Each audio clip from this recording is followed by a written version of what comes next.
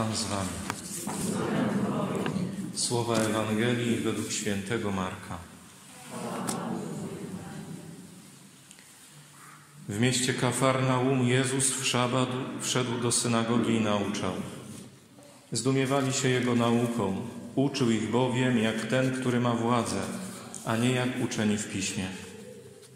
Był właśnie w synagodze człowiek opętany przez ducha nieczystego. Zaczął on wołać: Czego chcesz od nas, Jezusie Nazarejczyku? Przyszedłeś nas zgubić. Wiem, kto jesteś, święty Boże. Lecz Jezus rozkazał mu surowo: Milcz i wyjdź z niego.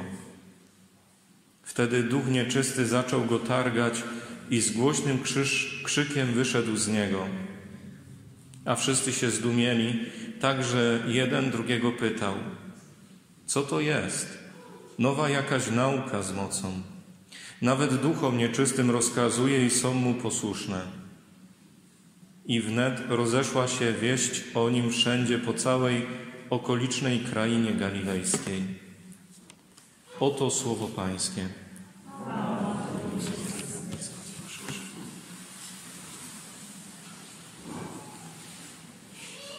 Umiłowani w Chrystusie Panu, siostry i bracia,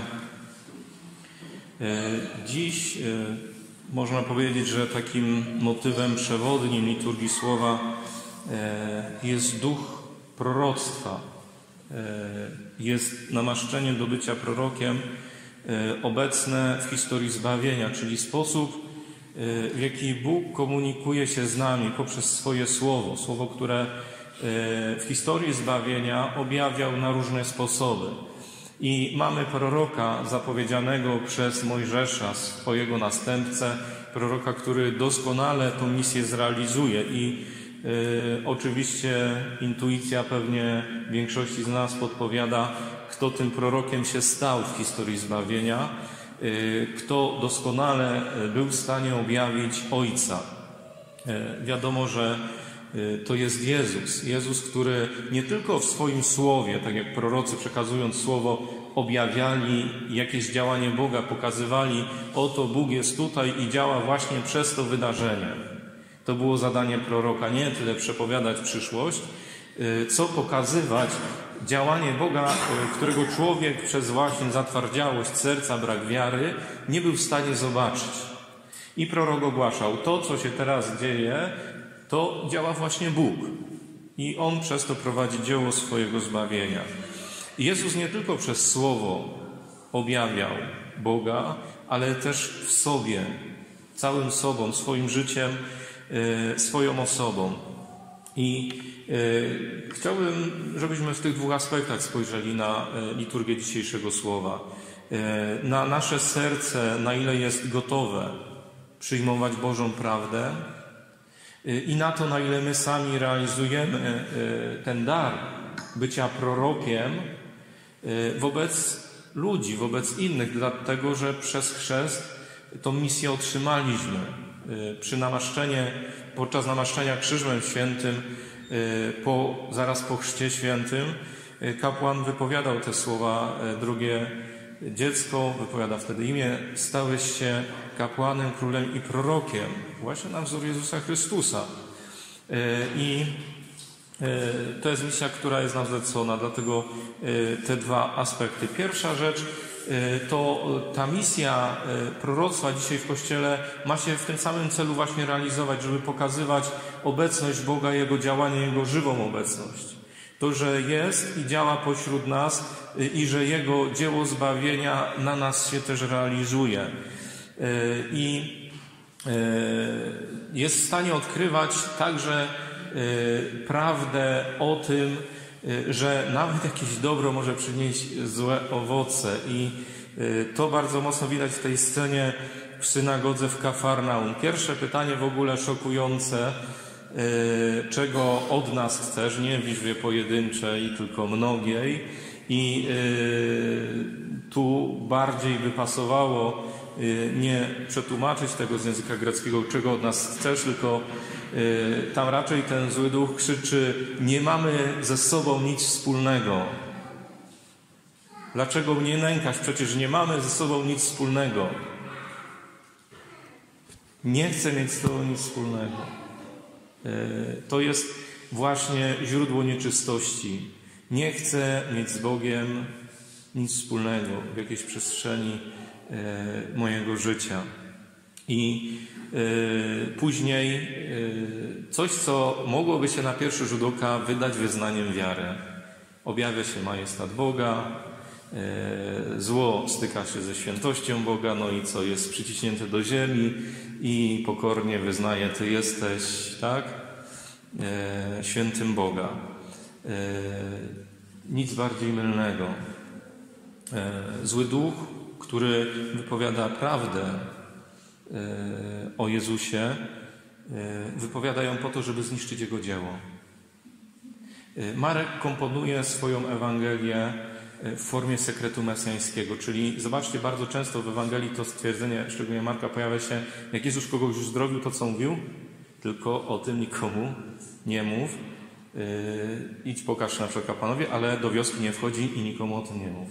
Nie dlatego, że coś się wydarzyło złego, tylko gdyby w Jezusie rozpoznano Mesjasza i w rozumieniu czysto politycznym, jak wtedy oczekiwano, że przyjdzie Mesjasz i wygoni Rzymian, uwolni nas spod okupacji, to misję Jezusa w ten sposób by potraktowano i chciano by go obwołać królem e, w czystoziemskich kategoriach.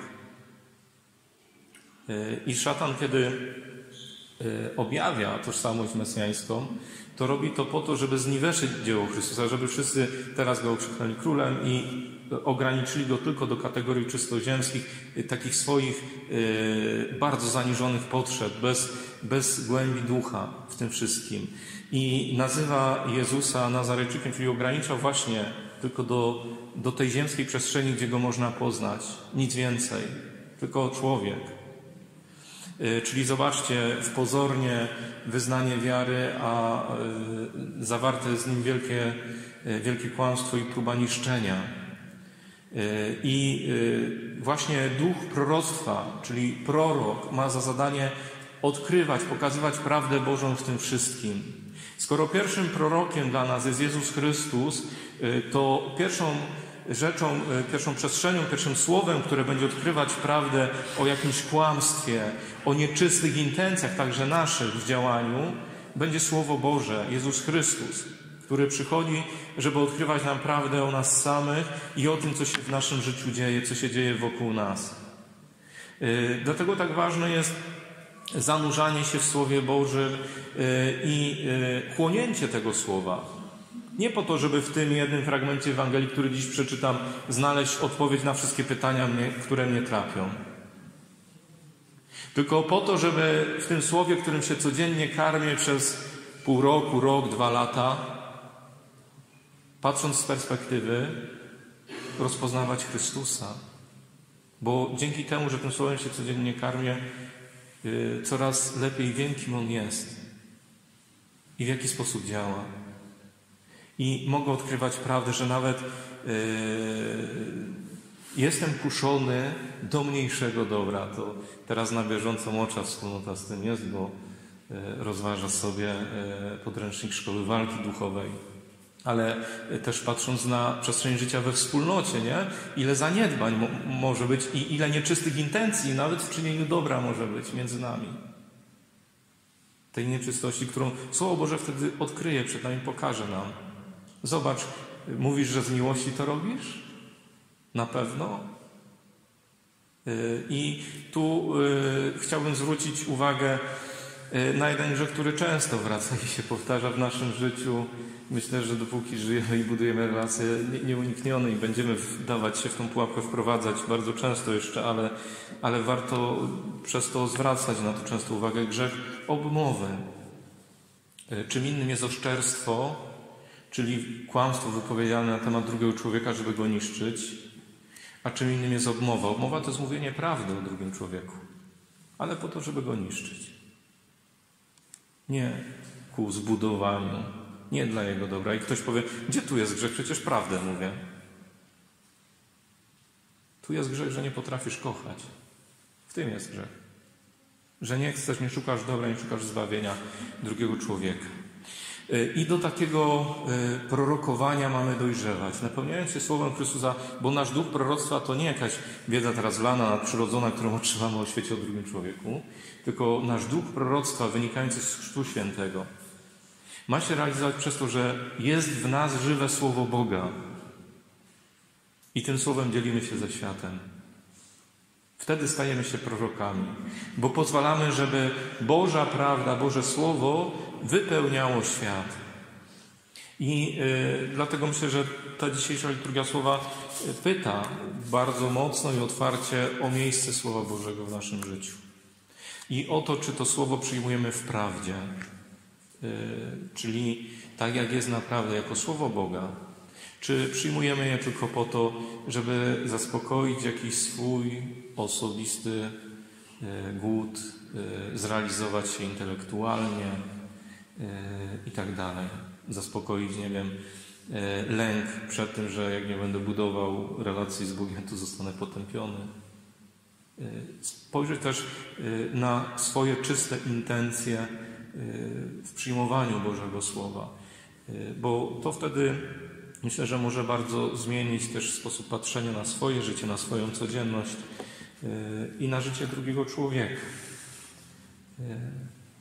Dziś jesteśmy zaproszeni do tego, żeby poszukiwać Bożej prawdy w swoim życiu i do tego, żeby tą prawdę głosić ludziom, którzy są obok nas, na których powinno nam zależeć. Bo kiedy przestajemy głosić, to pokazujemy naszą obojętność. Co pokazują wtedy? Nie zależy mi na Twoim zbawieniu. Trwaj w swoim grzechu, nic mi do tego, nie? To, co szatan mówi do Jezusa. Nie mamy nic ze sobą wspólnego. Jeżeli jesteśmy napełnieni Duchem Bożym, to o nikim tak nie powiem. Nie mam z Tobą nic wspólnego. Bo wtedy właśnie Boży Duch powinien we mnie budzić pragnienie. Y, pragnę Twojego zbawienia. Amen.